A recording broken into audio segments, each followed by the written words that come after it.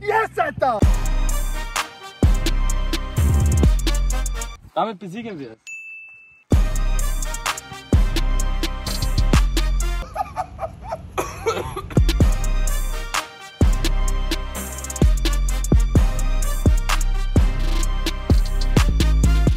So, meine lieben Freunde, herzlich willkommen zu einem neuen YouTube-Video auf meinem Account. Wieder Storytime mit Bilo. Erstmal vorab vielen, vielen, vielen, vielen Dank für die ganze Resonanz ähm, auf das Yusuf-Video, auf das Justin Jinma-Video. Ähm, mich freut es auch, irgendwie auch euch was mitzugeben oder euch auch von den Fußballern so die Geschichte nahezubringen. Auch ein bisschen so den, auch der Jugend zu zeigen, was läuft gut, was läuft schlecht was kann man vielleicht besser machen. Und ähm, deshalb bin ich jetzt in äh, Pauli in Hamburg mit Elias Saad. Steht auch gerade, finde ich, komplett im Mittelpunkt. Spielt eine sehr, sehr gute Saison. Und ähm, ja, ich freue mich erstmal, Bruder, dass du dabei bist. Äh, sehr, sehr cool, dass du mitmachst, dass, du, dass das so alles geklappt hat. Und ja, ich würde sagen, stell dich den Leuten mal vor, äh, wer du bist, wie alt du bist und was für eine Position du spielst. Und dann einfach von klein bis, bis jetzt. Erstmal danke für die Einladung, dass ich hier sein darf. Ja, ich bin Elias Saad, 24 Jahre alt, spiele beim FC St. Pauli und äh, spiele links außen. Ja, ich komme auch aus Hamburg, also es ist sehr schön für einen Hamburger Verein aufzulaufen. Also soll ich direkt anfangen, wo? Du kannst anfangen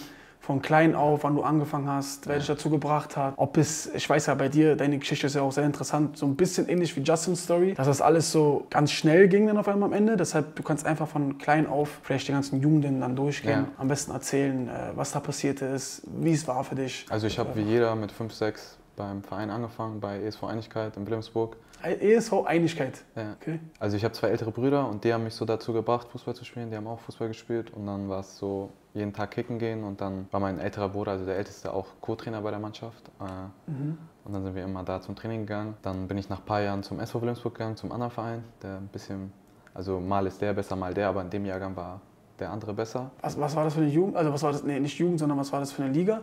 Also ist das so direkt Dorfverein gewesen oder? Ja, schon. Dorfverein, sagt ja, man? Ja, okay. Ja.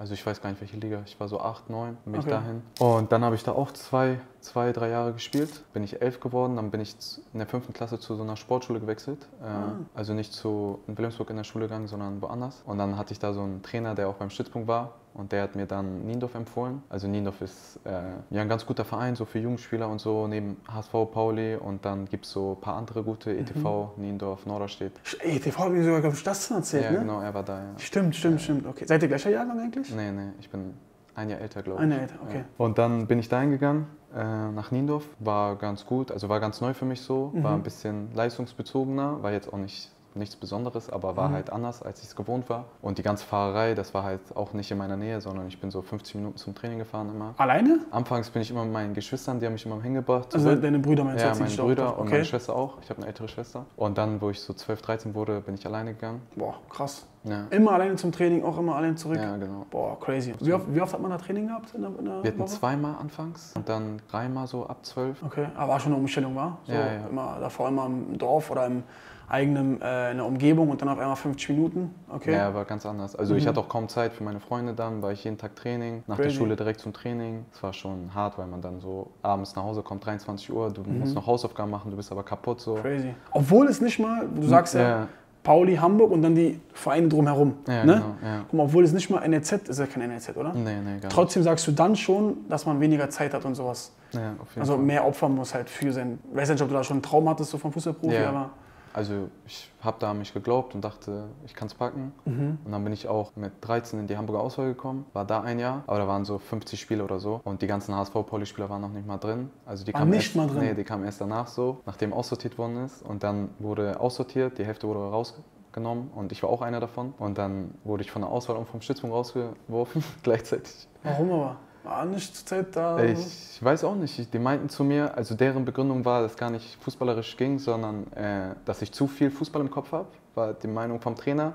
Äh? Ja, ich meins 100 Prozent. Genauso. Ich kann mich noch genau an das Gespräch erinnern. Okay. Er meinte, Elias, du hast zu viel Fußball im Kopf, du fährst zu oft hinher und äh, wir wollen dir lieber damit so eine Pause geben. So. Ich sage dir, das ist ein ich, äh, also das ist 100 Prozent eine Ausrede. Oder? Ja, also, ja, ja, Bro, ja 100 Prozent. Ja, ja. 100%. Man will doch genau so eine Kinder haben, die Fußball verrückt sind. Also im Nachhinein wusste ich auch, dass es eine Ausrede Ja. ist, dass ich einfach von der Leistung her nicht so gut war wie die anderen. Mhm. Ist auch nicht schlimm. Ja, und dann war so ein kleiner, kleiner Tiefmäßig? Tief so, ja, so kleiner Traum geplatzt, so, man wollte da spielen. Und dann lief es bei Niendorf, bei meinem Verein auch nicht, weil wir C-Regio dann gespielt haben. Und C, Re C Regio? ja, was, C- ist, was ist das? U15 Regionalliga. Also ganz normale Regionalliga. Ja, ganz Warum normal. sagt man aber C?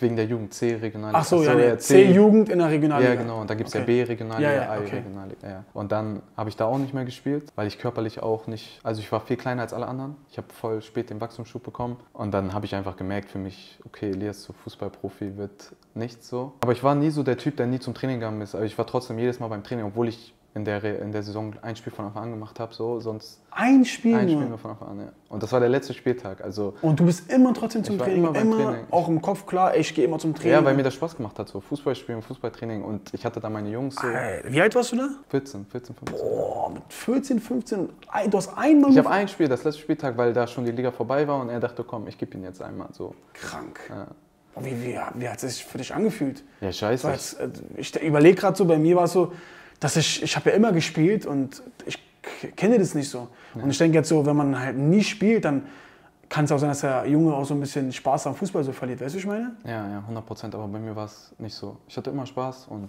Aber natürlich so, ne? Du willst erster Spieltag, zweiter Spieltag, du bist nicht mal im Kader so und dann so als kleiner Junge, ich bin auch ein bisschen emotional, dann fängst du an zu weinen und sowas, verstehst das alles nicht so. Aber ja, so ging das dann weiter. Die B-Jugend auch so, ich habe immer wenig gespielt, nie viel. Und dann sind wir in die A-Bundesliga aufgestiegen mit Niendorf. Ah, Bundesliga. Ah, Bundesliga. Die waren Bundesliga gewesen. Also wir waren auch eine sehr gute Mannschaft, muss man dazu sagen. Krass. Also viele sind dann auch zu Pauli HSV gewechselt danach. Mhm. Aber ich habe halt kaum gespielt. Wir sind in die A-Bundes aufgestiegen und ich hatte dann so einen kleinen Konflikt mit dem Co-Trainer und dann habe Willst du erzählen, was war? ich, ja, so wie ich gesagt habe, ich habe halt keine Rolle gespielt. Es war, glaube ich, der vorletzte Spieltag in der B-Jugend und wir, wir sind halt danach in die A-Bundesliga aufgestiegen. Mhm. Und äh, dann hatten wir ein Spiel am Wochenende und Abschlusstraining und beim Abschlusstraining meinte er so, Jungs, passt auf, niemand, niemand soll verletzt werden, aber Elias könnt ihr umhauen so. Niemals. So, ich, 100 Prozent. Und die Jungs, die Nein, dabei nein, waren, nein, wissen das auch. nein, nein, nein. 100 Prozent. Der Trainer hat gesagt, Ah, der Co-Trainer, nicht der richtige. Co-Trainer. Co-Trainer, ja. vor allem, ja. also, laut. Ja, ja. Verarsch mich. Doch, und das war nicht so ein Verhältnis. Es gibt ja auch so Co-Trainer-Verhältnisse, so du weißt, er macht Spaß und man ist gut miteinander. So. Aber bei ihm war es, wir haben uns komplett gar nicht verstanden. Und Was? das hat mir so dann den Rest gegeben. Dann war so für mich, okay, ich höre hier auf. Hab dann sofort gesagt, ich gehe nicht mehr zum Training, ich spiele nicht mehr. Das war der Punkt, wo Ja, du, ja, guck mal, du bist davor immer gegangen. Ja, ja, genau. Und dann hast du gesagt, nee, jetzt ist Ja, ja, vorbei. jetzt geht nicht mehr so. Und dann war halt Krank. so, ich habe kaum gespielt. Welcher Verein will mich so haben, wo noch leistungsbezogen gespielt wird? Und Mhm. dann habe ich kaum einen gefunden. Und dann war, glaube ich, ein paar Tage vor der Zeit, bis man wechseln konnte, so Transferphase, äh, bin ich dann zu Buxtehude gewechselt in die A-Jugend. Das war Verbandsliga. Ja, okay. Ich Äh, habe Buxtehude schon mal gehört, deshalb. Ja, äh, also- was, was war das da? Was ist das für eine, für eine Liga? Verbandsliga, also Oberliga Verband- so mäßig. So. Ja, Warte mal, du bist 18, 19 Jahre alt. ja Oder? da war ich 17, Ungefähr? da war ich 17. 17. Ja. Und wechselst von einer A-Bundesliga Nee, oder also B, wir haben noch nicht- B-Bundesliga, aber B-Regio. B-Regio waren wir. B-Regio? Und dann sind wir in die A-Bundesliga. Genau, aber du bist da nicht mitgegangen, Nee, sondern bist in die A-Verbandsliga. A-Verbandsliga. Nee, ist Verbandsliga als Oberliga hier? Ich, ich Ja, das da ist so gleich. Also damals hieß es Verbandsliga, jetzt heißt es Oberliga. Krass, okay. So Leute, kleine Werbeunterbrechung und zwar dieses Video wird gesponsert von meinem äh, Partner Matchday, wo ich jetzt auch schon seit über einem Jahr bin. Ähm, extra Sportnahrung für Fußballer, egal ob von Kreisliga bis zur Bundesliga, kann jeder benutzen. Ähm, Produkte für vorm Spiel, während dem Spiel und nach dem Spiel. Wenn ihr zum Beispiel aktuell ISO-Drinks oder Energy-Drinks nimmt, ist kompletter Schwachsinn. Das äh, gibt euch nur 20 Minuten Zuckerschock und mit Matchday habt ihr wirklich ähm, 90 Minuten volle Power oder nach dem Spiel, wenn es anstrengend war, eine gute ähm, Erholung. Ähm, 25% gibt es mit dem Code BILO, ist in der äh, Videobeschreibung unten verlinkt. Von daher schnell zuschlagen und jetzt weiter viel Spaß mit dem Video. Und dann hatte ich da wieder den Spaß am Fußball so. Mhm. War halt kein gutes Niveau, aber ich habe immer gespielt und äh, nicht so oft Training gehabt. Ich hatte voll viel Zeit dann für mich und privat. für Da war direkt wieder weniger. Ja, da hatte ich zweimal die Woche Training Okay. äh, und habe dann viel mehr Zeit mit Freunden gehabt und äh, war echt eine schöne Zeit, so, muss ich sagen. So.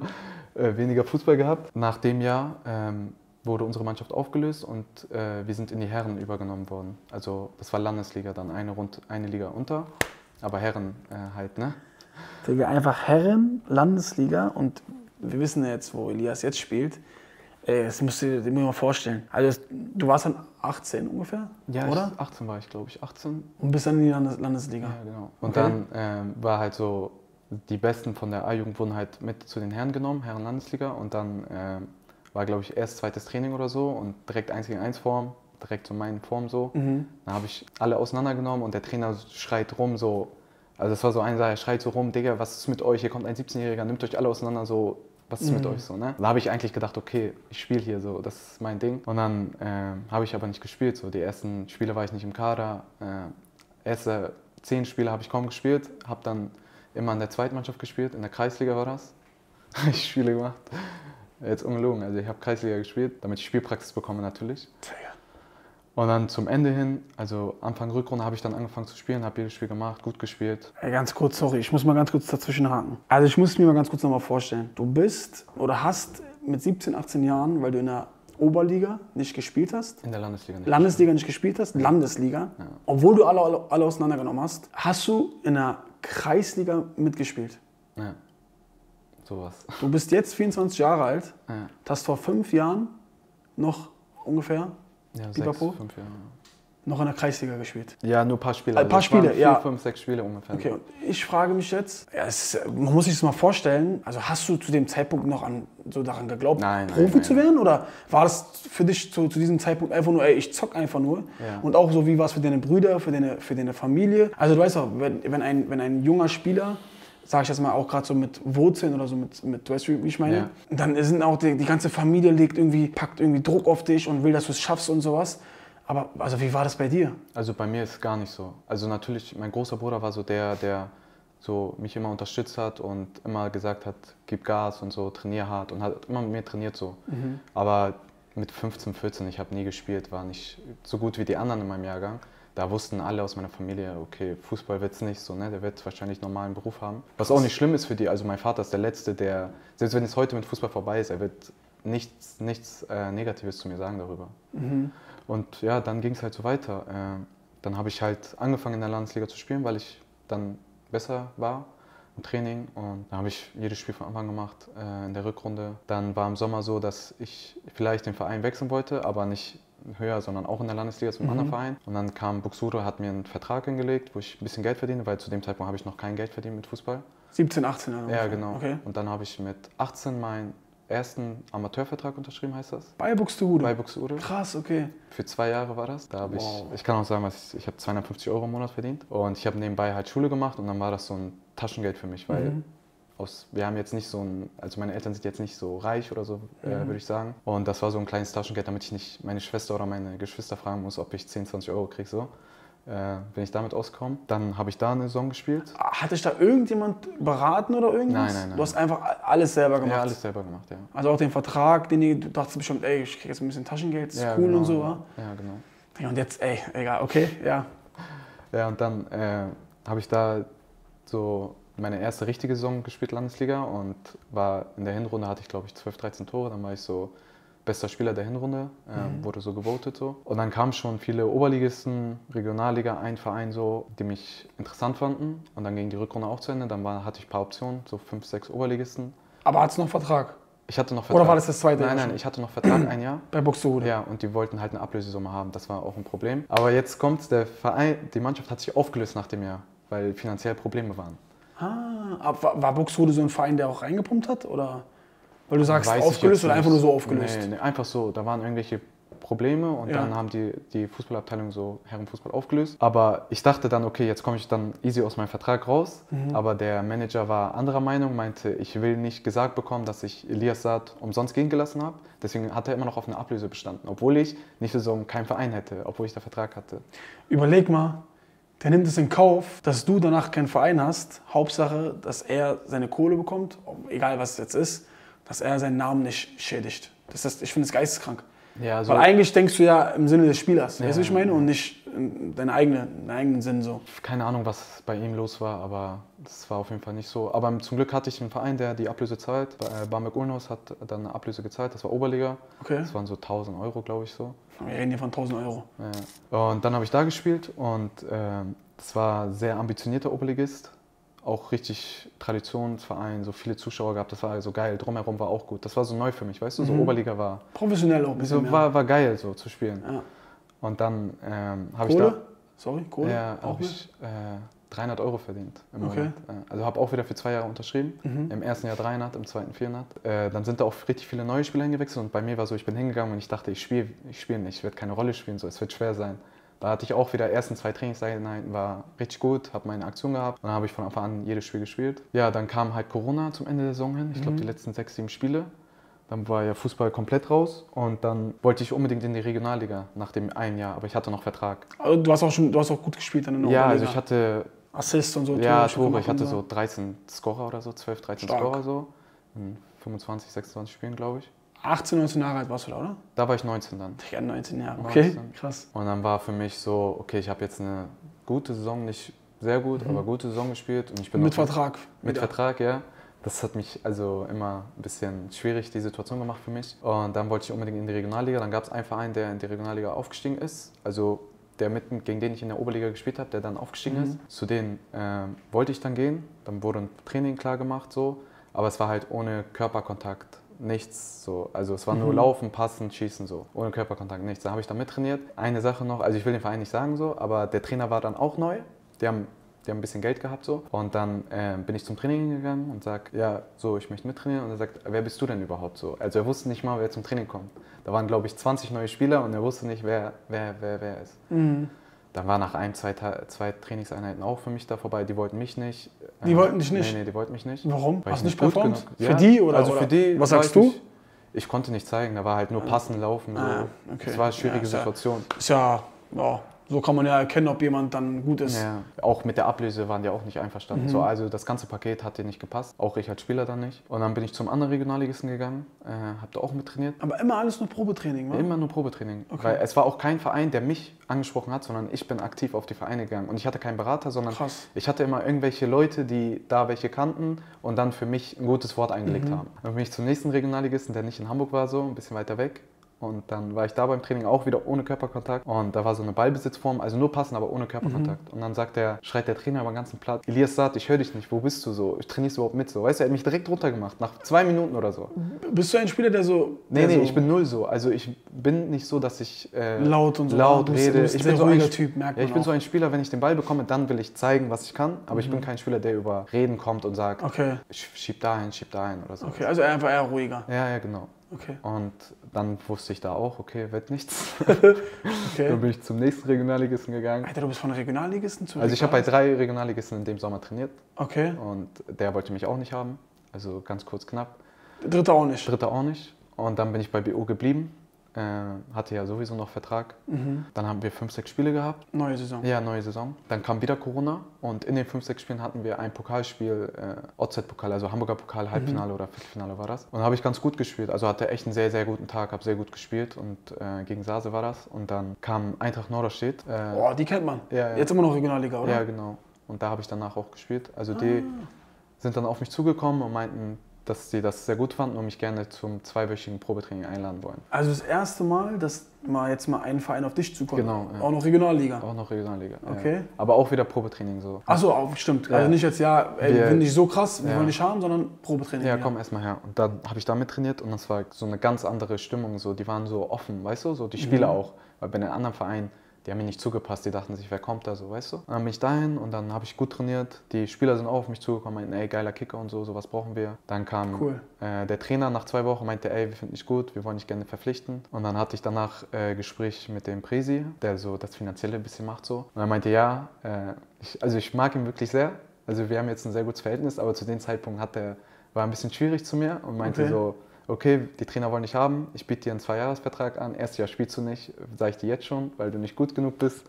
Und das zweite Jahr könntest du eventuell spielen. Ich sage immer bei so Sachen wirklich, ich will jetzt nichts gegen den Manager, also gegen den Präsidenten sagen. Ich weiß nicht, ob er was mit Fußball zu tun hat oder nicht, aber ich sage, genau so eine Position in einem Verein muss jemand machen, der selber Fußball gespielt hat, der ein bisschen in diesem Ding drin ist und der ein bisschen Ahnung hat. Aber wie kann man so eine Aussage tätigen mit, du kommst, spielst komplett die erste Saison nicht? Also weißt ich du, glaube, ja, ja, also ich muss sagen, er hat Ahnung, er hat auch Fußball gespielt so, aber ich glaube, er hat das nur gemacht, um damit ich finanziell eine nicht so hoch anfange. Ah, weißt du, okay. so, so Sorry, im dann- Nachhinein. okay. Ja, ja. So, und dann habe ich da ähm, 650 Euro im Monat verdient. So. Mhm.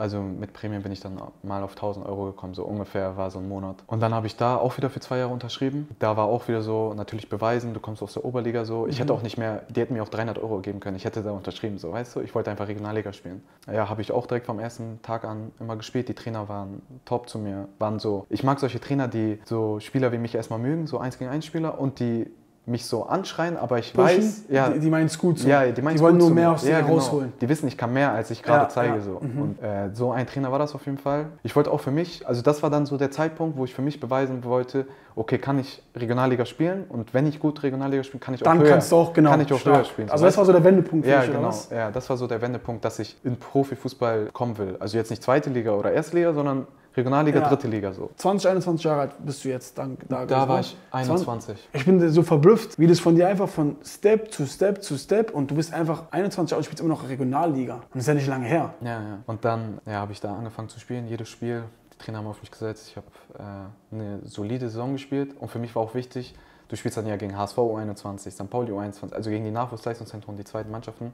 Und das sind ja so Jungprofis, so könnte man sagen, so ein paar Profivertrag. Und ich wollte einfach für mich wissen, kann ich es gegen die schaffen? So? Bin ich gut genug, um bei denen vorbeizukommen? Und dann lief es auch gut. Ich habe gute Spiele gegen die gemacht und dann war für mich so, okay, ich bin besser als die und ich, ich will diesen Profivertrag haben, weißt du? Dann habe ich eine Saison gespielt, hatte glaube ich zwölf Scorer oder so. In der Regionalliga. Ja, ne? in der Regionalliga, ja. Und dann hatte ich halt mein zweites Jahr und das war so, du musst auch wissen, zu den Zeiten habe ich nebenbei meine Ausbildung gemacht äh, zum großen Auslandskaufmann und habe die genau beendet, als mein zweites Vertragsjahr bei Norderstedt begonnen hat. Also da war ich 1, 21 oder 22? 22 war ich, da habe ich meine Ausbildung beendet und dann habe ich nur Fußball gespielt, das erste Mal in meinem Leben, so nur Fußball und nicht gearbeitet. Stimmt, du hast die ganze Zeit also nebenbei noch gearbeitet. Meine Ausbildung, gemacht, ja genau. Crazy. Ich habe ja noch zu Hause gelebt, deswegen konnte ich es mir leisten. So, ne? Und dann ging das zweite Jahr los und wir haben einen neuen Trainer gehabt. Der Co-Trainer wurde Trainer und er hat ein neues Trainerteam gemacht. Und da war ein Co-Trainer, der bei Pauli so eine Art Legende ist, der lange da gespielt hat. Marius Ebbers heißt er. Und ich bin ihn, also ich bin allen Trainern sehr dankbar, aber, Aber ihn speziell. ihn und auch die anderen beiden vorher bei Norderstedt bin ich unnormal dankbar. Und er, ich weiß noch, wir hatten ein Trainingslager und da, da war das erste Gespräch, was wir miteinander hatten, so persönlich. Alle gehen so nach dem Training rein und er sagt, Elias, bleib mal bitte hier so. Und ich so, okay, was wollen die jetzt von mir so? Und er meinte so, äh, ja, ich feiere dich so, du bist ein geiler Spieler so, deine Art brauchen wir, du kannst Spieler entscheiden und sowas. Und wir alle stehen hinter dir, damit du es weißt. Und er meinte, ich bin richtig gut im Austausch mit äh, dem FC St. Pauli, mit dem Trainer. Richtig geil. Ich krieg Gänsehaut, ich Ja, schwöre. ich schwör's ja. Also Weil ich überlege gerade so, ein Junge, der die ganze Zeit nicht mal hoch gespielt hat, vor ein paar Jahren Kreisliga und Landesliga und dann Oberliga. Und dann ist da jemand in der Regionalliga, der dir sowas sagt. Das ist ja auch für, für einen jungen Mann, der Fußball ambitioniert ist, der dann erstmal denkt, okay, ey, krass, so, ja, ja. weißt du, oder? Ich krieg Gänsehaut, ich schwöre. Ja, ich auch, wenn ich das wieder erzähle. Also er meinte zu mir einfach so, arbeite hart, trainiere hart, wir glauben alle an dich und ich bin jeden Tag am Austausch mit dem und den Rest mache ich so. Ne? Und dann war für mich so, boah, krass und so. Ich jetzt, so, ich habe nicht mehr gearbeitet, ich hatte Zeit. Das heißt, ich habe vor dem Training trainiert, manchmal nach dem Training. Also ich habe viel mehr gemacht. Vorher habe ich halt nie was gemacht. Ich war nie im Gym, ab und zu mal joggen gegangen, aber da war so die Zeit, ich richtig Gas gegeben. Und das hat sich dann auch im Spiel so gezeigt. Ich hatte nach der Hinrunde irgendwie 13, 12 Tore oder so, 11 Tore so in der Regionalliga. Krass. Habe jedes Spiel getroffen. So. Ich war so im Flow. So. Ich gehe zum Spiel und ich wusste, ich treffe heute. Ich habe gar nicht so nachgedacht, weißt du? Auch Standing bestimmt in der Mannschaft war Ja. ganz anders, war? Ja, also die haben mir die Bälle gespielt und wussten, ich mache irgendwas. So. Krass. Und ähm, ich habe auch sehr von der Mannschaft profitiert dann. Und dann so nach dem, du musst wissen, ähm, ich habe was vergessen, so im zweiten Jahr bei Norderstedt, im ersten Jahr bei Norderstedt habe ich einen Berater bekommen, meinen ersten Berater. Ah, oh, ganz wichtiger Punkt. Ja, ja, genau. Habe meinen ersten Berater gehabt, äh, im Nachhinein kompletter Quatsch, so sage ich. Okay. So, genau wie du sagst, der sich gar nicht mit Fußball auskennt. Ich hatte mal ein Spiel, wo ich zwei Tore mache. Er kommt zu mir und sagt, was machst du da so? Also das war falsch, das war falsch. Und ich war so glücklich über das Spiel, dass ich gewonnen habe, ein Tor gemacht, Und er zwei Tore. und er runter. direkt wieder so. Jeder, der mich kennt, weiß, ich bin der kritischste Mensch zu mir selber. Also ich habe Spiele, ich treffe und ich bin richtig sauer, weil ich scheiße gespielt habe. So. Und dann hatte ich halt mit ihm so gearbeitet erstmal und ähm, dann nach ein paar Spielen in der in der Saison dann, wo wir halt das neue Trainerteam hatten, wo ich richtig im Flow war. Ich hatte in einem Spiel dann so drei Scorer gemacht und dann war so, hat er mich angerufen und meinte, ja, äh, Osnabrück hat das Spiel gesehen, das war dritte Liga und äh, man konnte noch ein paar Wochen wechseln, ich glaube eine Woche oder so. Und er meinte, ja, die finden dich ganz interessant, so, was hältst du davon so? Und ich so, ja, normal, direkt so, ne? Ich will Profi werden, dritte Liga und so, ich mach das, geiler Verein und so. Und dann hat er zu mir so gesagt, ja, Elias, für mich bist du noch kein Drittligaspieler, so, ähm, Was? 100 Prozent. Also, er sagt zu mir, du bist noch kein Drittligaspieler, guck mal, wer da auf der Hat er mir irgendeinen Namen gesagt und ich habe zu ihm am Telefon gesagt, ich sag, guck mal, mir ist egal, wer das spielt, ich kenne mich, ich werde mich durchsetzen. So, ne? Und er hat dann so gesagt, Elias, du bist noch nicht auf dem Niveau, zieh noch die Saison durch. Ne? Hä, warte mal, er kommt auf dich zu. Ja. Sagt dir, Osnabrück hat zugeschaut und die finden dich gut. Dann fragt er dich und dann sagst du ja, safe und so, weil du einfach Profi werden willst. Ja, genau. Dritte Liga ist ja Profi. Und dann sagt er, du bist nicht so weit, oder was? Ja, er hat, also er hat einfach nicht an mich geglaubt. Und das war der Punkt, wo ich gesagt habe, ich will nichts mehr mit den Menschen zusammenarbeiten. Weil Mhm. Ein Berater, der nicht an, sich, an mich glaubt, ist komplett gar ja, macht gar Ja. keinen Sinn. So. Wie, wie kamst du zu, zu ihm, ganz kurz nochmal? Einfach angesprochen? Ja, so? genau. Also die Agentur hat mich dann angesprochen und ich kannte einen, der da gearbeitet hat. Ah, okay. Und dann dachte ich, okay, wird gut, aber die haben mir einen gegeben, mit dem ich noch nie was zu tun hatte. Okay, okay. Ja. Und dann hatte ich halt ein paar Monate keinen mehr, habe aber trotzdem jedes Spiel getroffen, getroffen, getroffen. Habe ich gegen Holstein Kiel gespielt, U23, habe da so ein Solo-Tor gemacht, so ein paar ausgeformte Tor gemacht. Und dann kam der Vor vom Vorstand einer zu mir, Von, von Kiel. von Kiel, ja, und äh, meinte, ey, geiler Kicker und so, ich werde alles dafür geben, dass du zu Holstein Kiel kommst. Krass. Wirklich, also richtig, richtig korrekter Mensch, wirklich, so ein älterer Herr so. Und er meinte, er hat mich jedes, jede Woche angerufen, hat mir zu jedem Spiel gratuliert, wenn ich getroffen habe und so. Und hat immer gesagt, ich gebe alles, damit du hierher kommst. So, ne?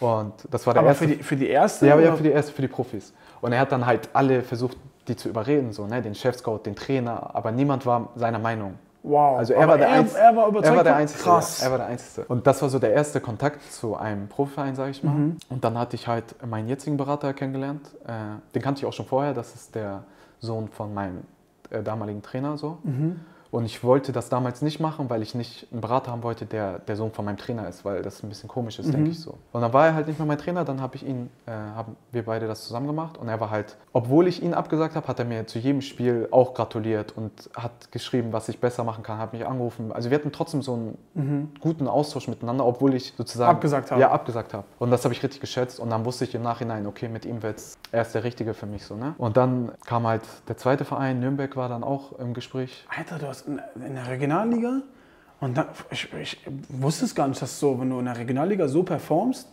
dass auch so Zweitligamannschaften so auch, also mir Ja. wurde ja dann ein bisschen mehr, ne? Ja, also Krass. ich glaube, bei mir ist es so, weil ich diese Spielart habe, die nicht so oft ist, so dieses 1 gegen 1, Ja, dieses super. Dribbling. Genau diese Spiele liebe ich auch. Ja, und ich glaube, weil es so wenig gerade im Profußball ist, dann gucken die halt mal in die unteren Ligen. Mhm. Und da war halt eine Zeit, wo ich halt abgeliefert habe, so jedes Spiel. Und dann hatte ich halt mit Nürnberg auch mal ein Gespräch, die sind nach Hamburg gekommen. Die sind sogar hergekommen zum Gespräch und so. Äh, also der sportliche Leiter, glaube ich, war da mit meinem jetzigen Berater. War Gänsehaut für mich. Ne? So, du, auf einmal sitzt du da mit äh, solchen Menschen an einem Tisch. So, ne? Dann ging es weiter, dann kam noch Paderborn auch dazu. Äh, Krass. Ja, du musst mal erklären, wie, wie hast du dich da gefühlt in dem Moment? Zweitligamannschaften wollen dich haben, stellen sich vor. Also war krass. Versuch mal zu, so ein bisschen so zu beschreiben. Ich, ich, vorher irgendwie nie richtig professionell und auf einmal mit 21, 22 dann auf einmal dieses, meine? Ja, also das war, ich habe mich normal richtig gefreut, so, wenn mein Berater sagt, guck mal, der Verein finde ich interessant so. Aber es war auch so Angst auch ein bisschen, weil ich wusste, ich muss jedes Spiel jetzt weiter performen, sonst werden die mich niemals weiter interessant finden. Weil bevor die ein Spiel aus der vierten Liga holen, muss schon alles passen so. Und dann ist Paderborn auch nach Hamburg gekommen, hat sich ein Spiel von mir angeguckt, habe danach auch mit, den, mit dem Scout so gequatscht und sowas. Aber es war nie so, dass der Verein gesagt hat, wir holen dich 100 Prozent. Ne? Also das war immer so, so ein kleines Kennenlernen, die finden mich interessant, sowas. Und das Aber weiter gucken, wie es weitergeht. ja, so. genau. Zum Beispiel Paderborn und Nürnberg war halt so, ich hatte halt Vertrag, die meinten, für Winter würden die mich niemals holen, weil die Ablöse zu hoch ist. Eine Sache im Sommer, ähm, waren auch ein paar Vereine interessiert, zum Beispiel St. Pauli U23. Also bevor ich diesen guten äh, Saisonstart hatte, Also, ja. war St. Pauli U23 interessiert und ich wollte das unbedingt machen. Und da wollte Norderstedt halt auch eine Ablöse, Ablöse, haben okay. und dann hat es nicht geklappt. Mhm. Also im Sommer wollte U23 St. Pauli mich, hat nicht geklappt und dann im Winter äh, ja, ging es dann so weiter. Dann war halt Paderborn auch im Gespräch und dann kam... ja. Ganz kurz, sorry. Haben das die anderen mitbekommen? Nein, nein. Also keiner hat es mitbekommen. Von Nee, anderen also mein? Trainer hat es mitbekommen, mein Trainer wusste es. Okay. Mein Trainer, Aber er hat es viel. nicht nach außen Nee, gebracht. nee, Kein anderer Spieler. Nee, gar nicht. Familie wusste es aber. Ja, Wie Familie. sind die damit umgegangen? Mein Vater hat sich gefreut. Also er war zu dem Zeitpunkt in Tunesien, er war nicht Okay. in Hamburg sonst. Äh, aber er war immer so, oh krass und so freut mich und so und äh, ich hoffe es klappt so. Ich habe immer zu ihm gesagt, Baba ist äh, so sehr, sehr, sehr wenig dran so bisher Okay. so. Ne? Also Ja. Denk, red Mega jetzt nicht schön. rum, so, dass ich jetzt zu Pauli oder Paderborn wechsle ja, ja. oder so, sondern ist noch nichts dran. Und dann kam halt St. Pauli halt auch. Ja, habe ich mich dann einmal mit denen zusammengesetzt. Am Millantor haben wir, also am Stadion haben wir uns getroffen. Geisteskrank. Das war wirklich brutal. Also Trainer, Vorstand, äh, mein Berater, ich. Und dann sitzt du so in dieser Lounge, guckst auf den Fußballplatz und denkst dir, krank. Also ich spiele hier gerade vor 200 Zuschauern in der mhm. Regionalliga, auf einmal sehe ich sowas. Und dann haben die gesagt, dass sie mich sehr gut finden, dass sie mich weiter beobachten und wollten mich so kennenlernen, was für ein Typ ich bin, weil ob es auch persönlich passt, ne? nicht mhm. nur fußballerisch. Aber das war September erst. War, waren halt noch so sechs, sieben Spiele bis da, bis zum Winter. Ne? Oh, du, du wusstest, und ey, ich wusste, weiter performen. Ja, Sonst ich, ja, genau. Ich wusste, wenn ich ein Scheißspiel habe, bin ich wieder raus. So. ja, ja. Und dann hatte ich weiter getroffen, gut gespielt. Dann hatte ich ein Spiel, wo Nürnberg äh, zugucken kam. Dieter Hecking kam extra zugucken. Wow. Gegen Havelse, weiß ich noch. Und das war mein schlechtestes Spiel überhaupt. Und dann, Vielleicht sogar gut auch. Danach war Nürnberg halt raus. Die wollten okay, mich nicht mehr krass. haben. Nach dem Spiel kam nichts mehr. Und dann ähm, war halt bei Pauli das Problem wegen der Ablösesumme. Also es wurde sehr lange diskutiert, äh, wie viel Norderstedt fordert. Ah, da wollte Sao Paulo dich wirklich dann auch haben, oder? Nee, also die haben nur so mal angetestet, so wie teuer ist der Spieler überhaupt, okay. weißt du, bevor okay. die ja, so. Ja, ja. Und dann ähm, war halt eine Riesensumme auf einmal. Also, kannst du die sagen? 100.000, 125.000 so dazwischen. Ja, ist schon für einen Regionalligaspieler Ja, für einen ne? Regionalligaspieler viel. Und ich hatte halt nur noch ein halbes Jahr Vertrag, die hätten ein halbes Jahr warten können, dann wäre ich halt umsonst. Dann gab es noch ein Problem, Pauli war halt sehr, sehr nicht gut in dem, in dem Finanziell Zeitpunkt. meinst du jetzt? Nee, nee, nee, sportlich. Okay. Die waren ein Platz vorm Abstieg. Oh. Also da war halt auch Diskussion, ob Trainer fliegt oder nicht. Mhm. Und dann hat sich das richtig in die Länge gezogen, bis vor zwei, drei Wochen vorm äh, letzten Spieltag dann. Und ich habe, du musst dir vorstellen, ich habe jede Woche den Presi angerufen und meinte, bitte lass mich gehen. Du? Achso, ja, deinen eigenen Presi? Ja, meinen eigenen Presi von Norderstedt. Ich meinte, bitte, so, ich will Profi werden. Das ist so eine krasse Chance für mich und äh, bitte tu mir den Gefallen und so. Wenn die nur 50.000 zahlen kann, bitte mach das für mich und mhm. ich krieg das irgendwie hin und irgendwann mal kriegst du dein Geld oder so. Ne? so ich wollte unbedingt Profi werden. Ja. Und er meinte halt zu mir, guck mal Elias, ich kann dich nicht für so wenig Geld äh, gehen lassen. So. Er meinte, mit dir gewinnen wir eher die Chance, den Hamburger Pokal zu gewinnen und wenn du Hamburger Pokal gewinnst, kriegst du halt viel Geld. Mhm. Und er meinte, ohne dich sinkt die Chance. Und dann hatten wir Viertelfinale, Pokalspiel und wir haben verloren. Und ich stand oh. noch auf dem Platz. Also ich habe gespielt. Ne? Okay. Und dann war das halt auch weg. Und dann dachte ich mir, okay, jetzt, weil er das Geld nicht bekommen hat, wird er wahrscheinlich müssen so mäßig so, braucht ja. er das Geld so ne und ich nehme es ihn ja gar nicht übel so ne er ist Manager ich habe einen Vertrag unterschrieben ich, wenn er das Geld fordert, dann ist es meine Schuld im Endeffekt, mm. weil ich so lange unterschrieben habe. Aber er ist ein Mensch, er hätte alles dafür getan, dass ich da auch hingehe. Also ich schätze ihn auch sehr. Und er hat auch bei Pauli mal gearbeitet. Also ich glaube, er war auch ah, mal Präsi okay. oder Vorstand so. Und da war er halt ganz Zeit im Austausch und dann hat er mich äh, eine Woche vorher angerufen, bevor das offiziell wurde und meinte, jo, wir konnten uns einigen und äh, Glückwunsch, du wirst zu St. Pauli wechseln. Und ich, Digga, ich bin durchgedreht, ich schwör's dir, ich bin durchgedreht, bin rumgelaufen, hab, er meinte, aber bitte behalt das für dich und so. Ja. Und er meinte, das darf niemand noch wissen, erst in einer Woche wird es öffentlich gemacht. Und er meinte, du hast noch ein Spiel bei uns, äh, am 3. Dezember war das und ab 4. Dezember war dann Trainingsstart bei St. Pauli oder fünfter, sechster, irgendwie so. Ich hatte ein paar Tage frei.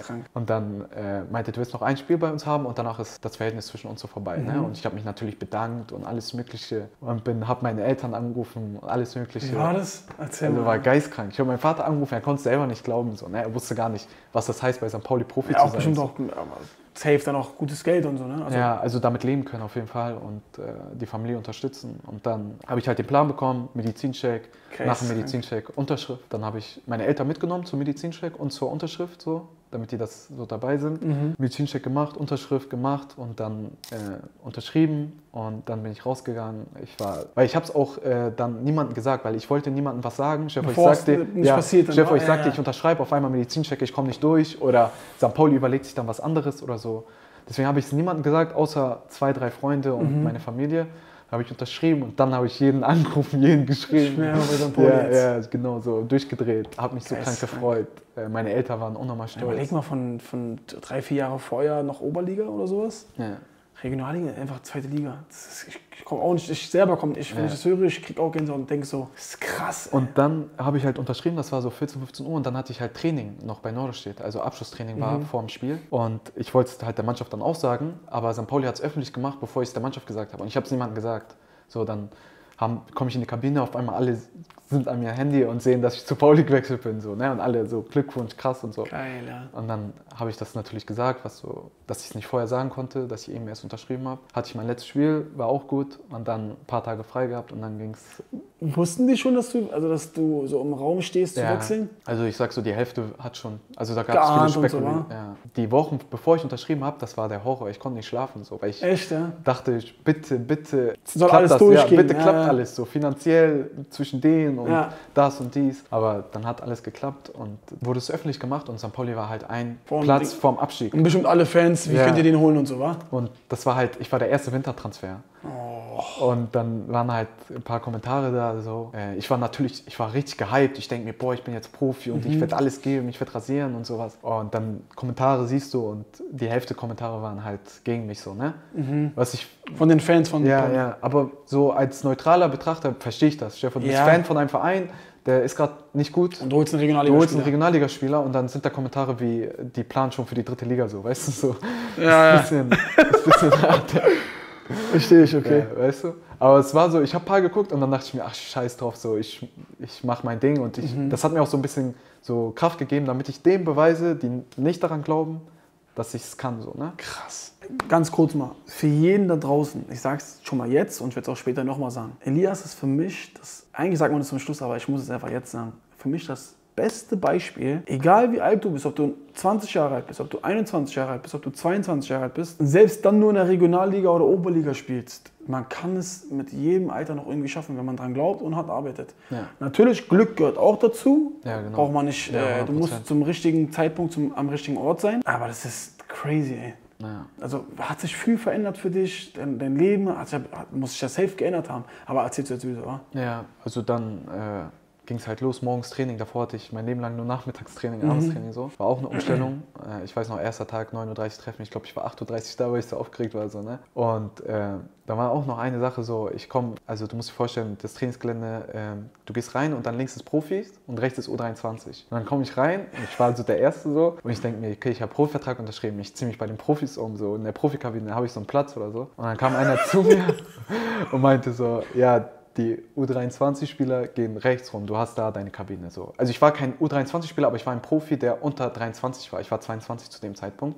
Und dann hat er halt, hat er halt einfach gesagt, du musst dich da umziehen. Und dann war das so für mich, alles ging gerade bergauf. Und das Und war so der einmal so- erste Schlag, okay, du bist Alter. gar kein Profi. So. Du musst noch hart arbeiten, um dir überhaupt dich da umzuziehen, wo die Aber Profis es war Profi, du hast einen Profivertrag gehabt. Ich habe Profivertrag da hättest du eigentlich auch.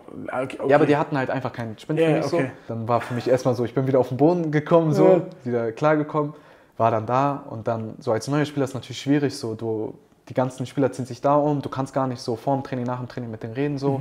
Du gehst nur auf den Platz, trainierst und dann gehst du wieder in deine Kabine, gehst Ja. duschen, so. Hatte ich zwei Monate, habe ich mich da umgezogen, eineinhalb Monate so. äh, Bis ich dann erst meinen Platz da bekommen habe. Dann hatten wir halt auch Trainingslager, Testspiele. Das war halt so meine erste Vorbereitung mit Profis. War halt unnormal anstrengend, intensiv. Ehrlich, ja, also auch direkt so Also ich kompletter gemerkt, Unterschied. ich bin zum Training gegangen, jeden Tag Mittagsschlaf gemacht. Nach jedem Training, ich war so tot, bin in mein Bett gefallen, Wirklich, geschlafen. ja? Ja, jeden Tag. Das war geistkrank für mich. Wie haben die dich aufgenommen auch? Wie waren die zu dir? Die wollten gucken, was ich kann, so. Weißt du, was ich meine? Okay. Ob, er, ob er gut ist, so, ne? Weil bei denen lief es ja auch nicht. Dann gab es noch einen Trainerwechsel, genau wo ich gekommen bin, ist ein anderer Trainer Ach, gekommen. das passiert dann auch, ja, ja? genau, Okay. dann passiert. Dann war halt für alle viel neu, ne? weil ein neuer Trainer da ist, eine neue Idee und so. Also er war halt Co-Trainer vorher, aber natürlich bringt er dann Mhm. Ja. seine Ideen rein. Ich wurde eigentlich gut aufgenommen, aber immer so mit Bedacht, okay, kann er uns helfen, kann er uns nicht helfen, Mhm. so weißt du. Trainingslager, die ersten Testspiele gemacht, habe gut trainiert, gut gespielt. Ich war halt auch voll im Push, so, ne? du kommst, unterschreibst deinen ersten Profivertrag, du bist heiß, so. Ja. Und dann gab es halt den ersten Dämpfer so, erstes Testspiel gehabt, äh, also letztes Testspiel vor dem äh, Punktspielstart, Ja. Rückrunde. Das war im Millantor. Und da waren 30, 40 Jungs von mir, alle meine Kollegen sind gekommen, äh, Familie und ich war 90 Minuten nur auf der Bank so, ne? Aber du warst im Kader. Ja, ich war im Kader, aber, Aber erstmal im Kader. jeder war im Kader beim Testspiel. So, ne? Ach so, Das war ein Testspiel, das Ach war so, Testspiel, okay, okay, Testspiel okay, vor dem Punktspiel. Verstehe, sorry. Und dann kam erste Punktspiel gegen Nürnberg. Und dann war für mich klar, wenn ich schon da keine Minute spiele, wird es eng für mich, in den Kader zu kommen. So, ne? Und dann war es halt auch so, ich war nicht dabei, habe bei der U23 wieder gespielt, also in der Regionalliga, wo ich vorher gespielt habe. Und dann war für mich voll der Bruch, so mental für den Kopf und so. Dann habe ich erst gecheckt, okay, was heißt für ein Profi zu sein, weißt du, so. Es geht nicht nur alles hoch, hoch, hoch, wie die Ja. letzten Monate, Jahre, sondern auch runter so. Und dann war für mich auch, ich war vom Kopf her einfach kein Profi. Ich habe mich mit vielen anderen Sachen beschäftigt, weil Echt? ich, ja, weil ich so, weil ich gar keine Chance gesehen habe, dass ich überhaupt spielen kann, so im Kader bin, Ja. weil es dann die nächsten Tage immer so war, die nächsten äh, Wochen. Zum Beispiel beim Abschlusstraining 11 gegen 11, A gegen B11, ich war nicht dabei. Ich war, Du warst nicht mal im, im Nee, nee. Spiel gegeneinander nee, dabei. ich war der 23. Mann oder so und Wow. habe äh, draußen meine Übung gemacht mit einem Athletiktrainer. So, ne? Okay, krass. Und dann kriegst du natürlich Frust in dir bis zu Hause, denkst nach, was passiert hier, warum Was macht man auch falsch ja, und so, so, ne? Bin ich halt auch öfters zum Trainer gegangen, meinte, wo- woran kann ich mich verbessern. Hast du aber Ja, gemacht? hab du bist gemacht. Schillinger? Hast... Ja. Okay, krass. Also ich habe nochmal das Gespräch gesucht, habe gefragt, warum bin ich diesmal nicht im Kader, was kann ich besser machen. Hat er mir genug Punkte gesandt, die, äh, Ja. wo ich noch... Zu Recht auch? Ja, ja, zu Recht, 100% zu Recht. Defensiv war ich null. Gar nicht, taktisch auch nicht, körperlich war ich auch nicht da. Mhm. Also waren genug Punkte, wo ich dran arbeiten konnte. Aber weil ich so im Frust war, habe ich gar nicht angefangen, das zu verbessern. Du hast gar nicht so, sondern, okay, ja, ja, ich ja. habe einfach gedacht, es kann nicht besser werden.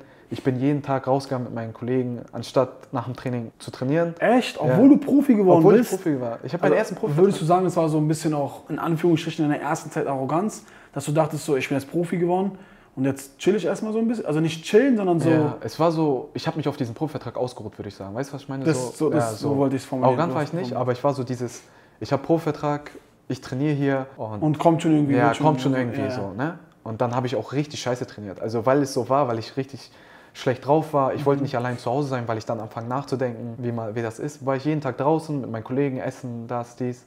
Bin dann abends nach Hause gekommen, schlafen, wieder zum Training. Und habe nicht einmal, war ich im Kraftraum, so, weißt du? Okay. Und das ging dann so einen Monat und dann waren die Trainer halt auch unzufrieden mit mir, ne? weil ich nicht gut trainiere, nichts für mich mache. Und dann gab es so einen Switch so langsam in meinem Kopf, so, ne? Du musst jetzt trotzdem noch Ja, mal mehr und so. Ne? so, Digga, das geht so nicht weiter. Und meine Kollegen haben auch auf mich eingeredet, meinten, ey, Ja.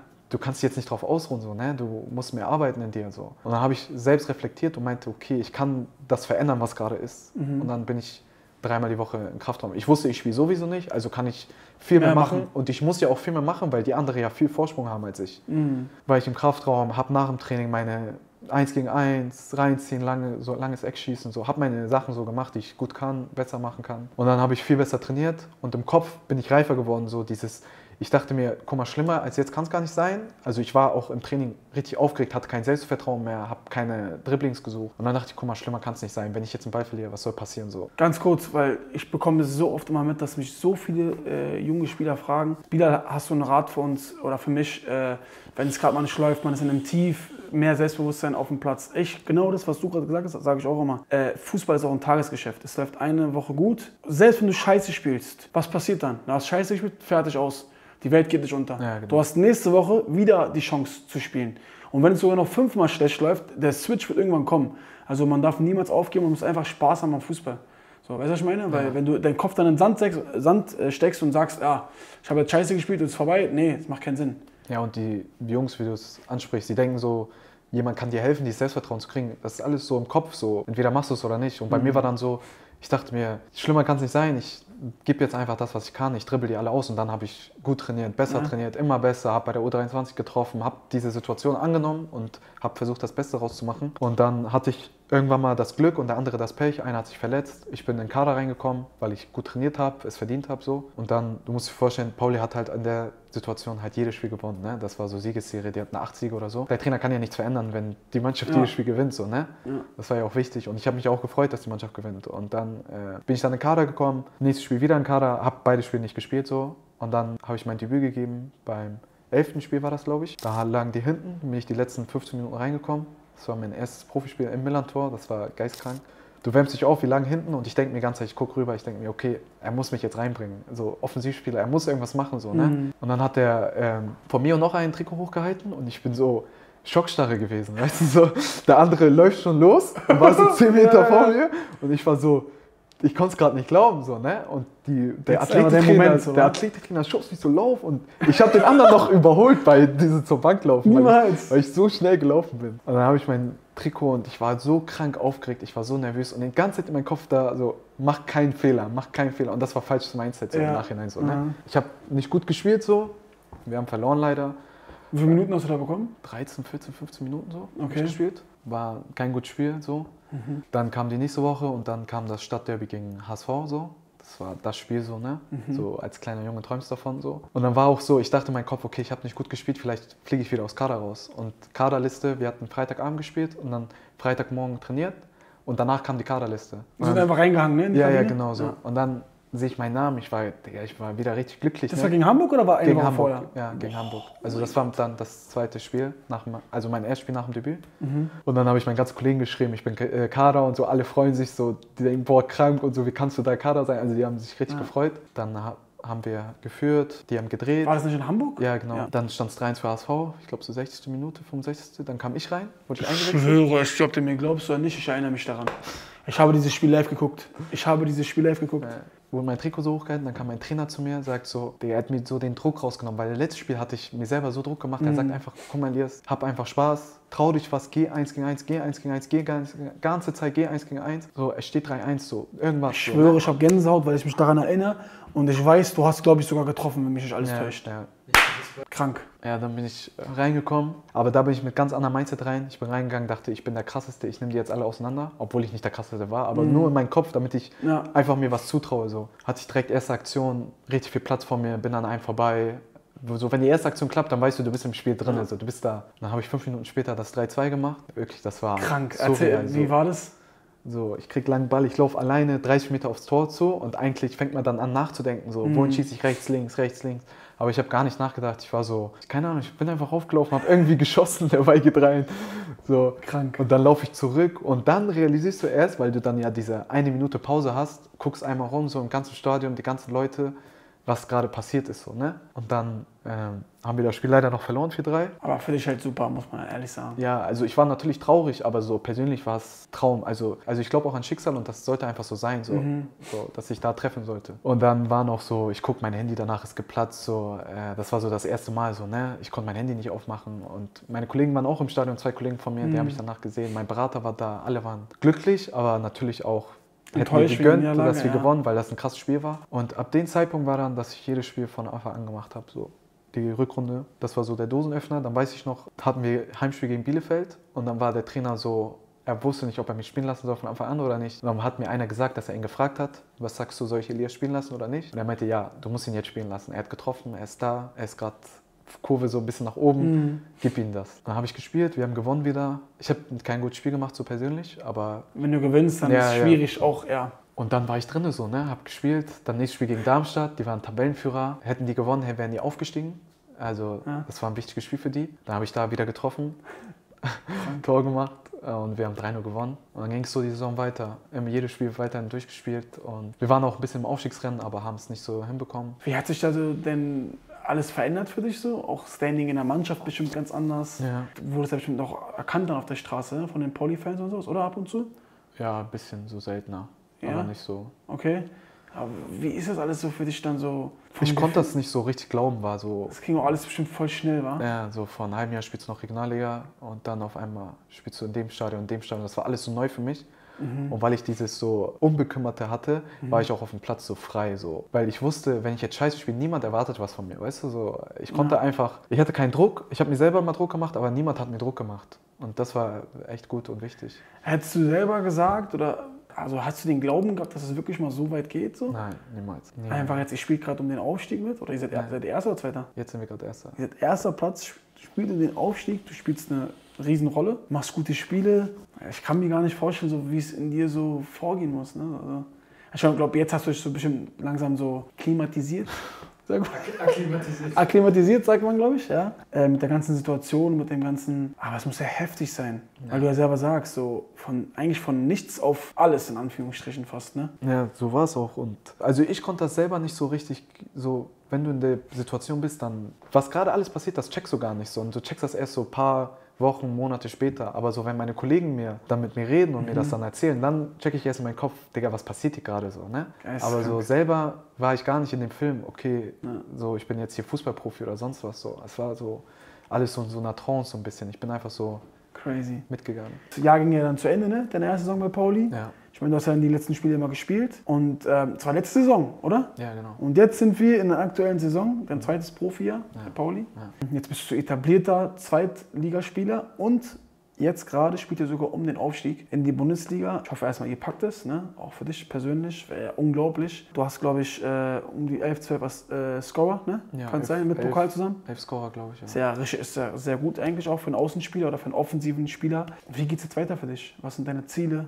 Wo willst du noch hin? Hast du noch Träume, wo du, was du noch nicht erreicht hast? Was in der Nationalmannschaft eigentlich? Hast du mal irgendwie von der Ja. Nationalmannschaft irgendwas? Also, also meine Eltern kommen ja aus Tunesien und dann hatte Tunesien mal, das war schon letzte Saison, Mhm. wollten die mich mal einmal einladen, aber da hatte ich dann im letzten Spieltag mich leider so gezerrt. Mhm. Dann ist es nicht geklappt. Und dann war ich einmal da im September, war Länderspielpause. Jetzt? Vor ein paar Monaten? Ja, also vor einem Jahr ungefähr. Krass. Ja, Okay. war ich da. Das erste Mal war, war krass, das alles zu sehen und so Nationalmannschaft. Ich habe leider keine Minute gespielt. Mhm. Äh, ja, und dann, das war es dann eigentlich auch. Also Jetzt steht ihr im Kontakt? Oder? ja, jetzt, wir sind immer noch im Kontakt. Jetzt, also du profitierst ja, wie es im Verein läuft von der Mhm. Nationalmannschaft dann.